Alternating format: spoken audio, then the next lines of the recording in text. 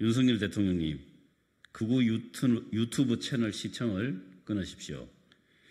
윤석열 대통령이 24년 만에 자유총연맹을 찾아 문재인 정부의 한반도 평화 프로세스를 종전선언 합창, 가짜 평화 주장이라며 맹비난했습니다. 일베와 하등 다를 바 없는 대통령의 인식에 충격을 금할 수 없습니다. 남북 문제를 바라보는 대통령의 극우적 인식에 깊은 유감과 우려를 표합니다. 냉전 사고에서 벗어나지 못한 대통령에게 통일은 적화 통일과 흡수 통일 말고는 없습니까? 윤석열 대통령은 남북 문제에 대한 무지를 스스로 자랑하고 싶었습니까?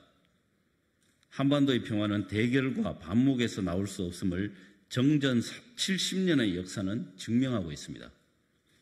윤석열 대통령의 무분별한 말폭탄은 북한의 군사적 도발만큼이나 대한민국 안보를 위협하고 있습니다.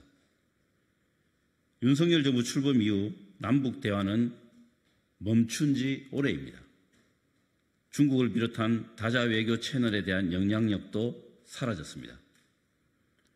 윤석열 대통령은 허위 선동, 가짜 뉴스, 괴담이 자유 대한민국을 위협하고 있다고 주장했습니다. 대통령의 귀에 거슬리는 말은 모두 허위 선동이고 가짜 뉴스이고 괴담입니까? 윤석열 대통령이야말로 거짓 선동과 가짜 뉴스 생산을 멈추십시오. 지금 대한민국의 민주주의를 흔들고 법치를 훼손하는 것은 다른 누구도 아닌 윤 대통령 자신입니다. 이상입니다.